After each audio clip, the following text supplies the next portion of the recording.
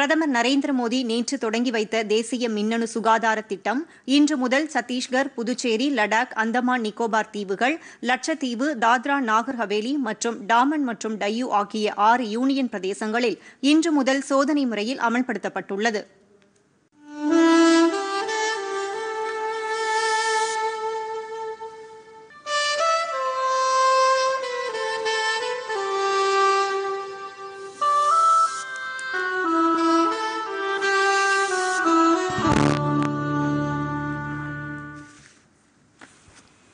நாட்டின் எழுபத்தி நான்காவது சுதந்திர தினத்தையொட்டி தில்லி செங்கோட்டையில் நேற்று மூவர்ண கொடியை ஏற்றி வைத்து பிரதமர் உரையாற்றுகையில் இதை தெரிவித்தார்.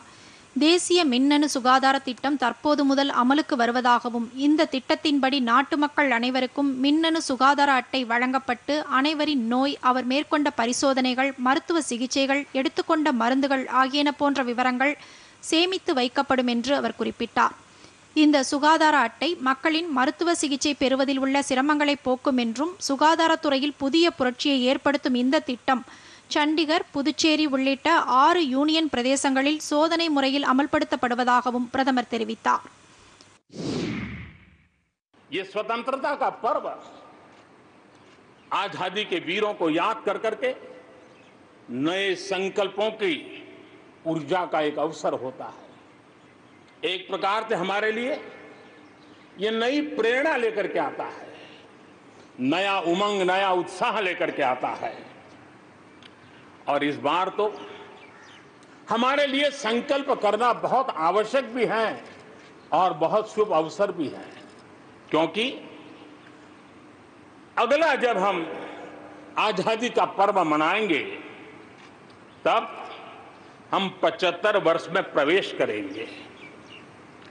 ये अपने आप में एक बहुत बड़ा अवसर है। और इसलिए आज आने वाले दो साल के लिए बहुत बड़े संकल्प लेकर के हमें चलना है। 130 करोड़ देशवासियों को चलना है। आज़ादी के 75 वर्ष में जब प्रवेश करेंगे और आज़ादी के 75 वर्ष जब पूर्ण होंगे, हम हमारे संकल्पों की पूर्ति का एक महापर्व के रूप में இந்தியாவில் மூன்று கொரோனா தடுப்பூசிகள் வெவ்வேறு நிலைகளில் பரிசோதனையில் உள்ளதாகவும் மருத்துவ விஞ்ஞானிகள் ஒப்புதல் அளித்த பிறகு அதிக அளவில் தடுப்பூசிகள் தயாரிக்கப்பட்டு விரைவில் அனைவருக்கும் தடுப்பூசி கிடைப்பது உறுதி செய்யப்படும் என்றும் பிரதமர் கூறினார் எல்லையில் அத்துமீறி நாட்டின் இறையாண்மைக்கு ஊறு விளைவிக்க நினைப்பவர்களுக்கு நம்முடைய பாதுகாப்பு படையினர் தக்க பதிலடி கொடுத்து வருவதாக பிரதமர் குறிப்பிட்டார் பயங்கரவாதமோ ஆக்கிரமிப்போ எதுவாக இருந்தாலும் இந்தியா உறுதியுடன் போராடி வருவதாக தெரிவித்த அவர் இறையாண்மையே நாட்டின் முதன்மையானது என்றார். கிழக்கு லடாக்கில் அண்மையில் துணிச்சலுடன் பாதுகாப்பு படையினர் போரிட்டதை சுட்டிக்காட்டிய பிரதமர் அந்த மோதலில் உயிர்த்தியாகம் செய்த வீரர்கள் அனைவருக்கும் தாம் தலை வணங்குவதாக குறிப்பிட்டார். மக்கள் மனதில் தாரக மந்திரமாக பதிந்துவிட்ட சுயசார்பு இந்தியா திட்டத்தின்படி இறக்குமதி செய்வது குறைக்கப்பட்டுள்ளது என்றும் வெளிநாடுகளுக்கு கச்சா பொருட்கள் ஏற்றுமதி செய்வதற்கு பதிலாக நாம் தயாரித்த பொருட்கள் ஏற்றுமதி செய்யப்பட உள்ளது என்றும் பிரதமர் குறிப்பிட்டார்.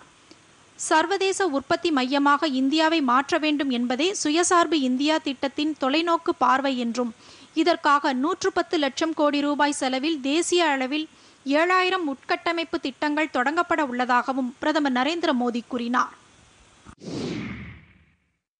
ये विश्वास ऐसे ही पैदा नहीं हुआ है ऐसे ही दुनिया मोहित नहीं हुई है इसके लिए भारत ने अपनी नीतियों पर भारत ने अपने लोकतंत्र पर भारत ने अपनी अर्थव्यवस्था की बुनियाद की मजबूती पर जो काम किए हैं उसने ये विश्वास जगाया है दुनिया भर के अनेक बिज़नेस भारत को सप्लाई चेन के केंद्र के रूप में आज देख रहे हैं।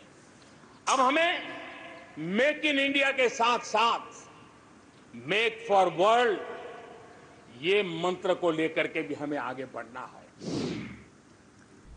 பொதிகை செய்திகளை யூடியூபில் தமிழ் நியூஸ் தூர்தர்ஷன் என்ற சேனலிலும் முகநூலில் டிடி பொதிகை நியூஸ் என்ற பக்கத்திலும் ட்விட்டரில் டிடி நியூஸ் சென்னை என்ற பக்கத்திலும் இன்ஸ்டாகிராமில் டிடி பொதிகை நியூஸ் என்ற பக்கத்திலும் காணலாம். மேலும் உங்கள் கருத்துக்களை Podhigai DD news at Gmail dot com என்ற மின் அஞ்சலில் தெரிவிக்கலாம்.